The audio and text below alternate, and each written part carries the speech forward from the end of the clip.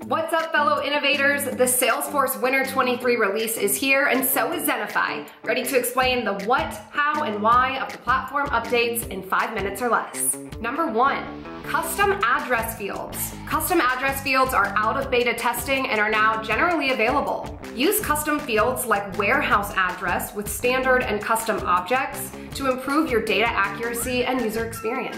Number two, dynamic forms enhancements. Salesforce started judging up page layouts when they introduced dynamic forms. They're back with even more enhancements to take your records from drab to fab. Dynamic forms are now available for three core objects accounts, contacts, and opportunities. Customers can now migrate the fields and sections from page layouts as individual components and configure them to display just the ones that users need. That's gonna give the end user more flexibility and control over the fields and sections that are displayed on page layouts. Number three, dynamic related list filters.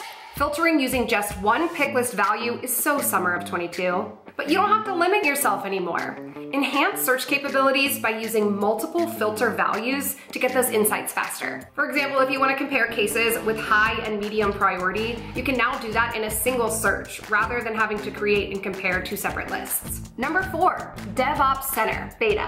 Whether you're low code or pro code, the DevOps Center Beta has your back. DevOps Center uses GitHub for source code control, but hides the complexity so that it's easy for admins to migrate. This brings the development approach of the admin, low code, closer to the developer, pro code. Number five, broadcast communications. Share incident updates with customers at scale with broadcast communications for Service and Experience Cloud. Cover all your bases with two ways to alert and update customers. One, send progress reports to affected customers with broadcast emails accessible directly from the incident record. Two, use a broadcast site banner to alert users about an ongoing incident to deflect customer cases. Number six, Flow Builder updates. You've been hearing it for months now. Flow is the future. And it's true. This is why Salesforce is introducing lots of updates to Flow Builder.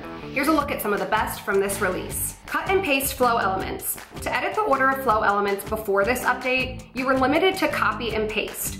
You had to copy and paste the element, then delete the original element, and then update the API name of the pasted element.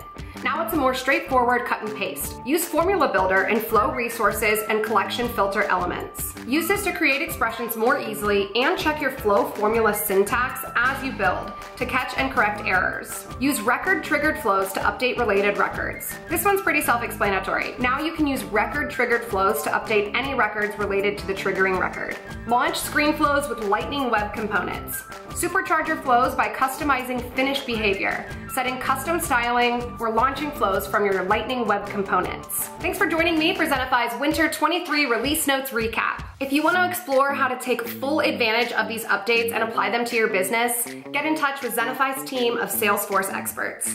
Catch you next time.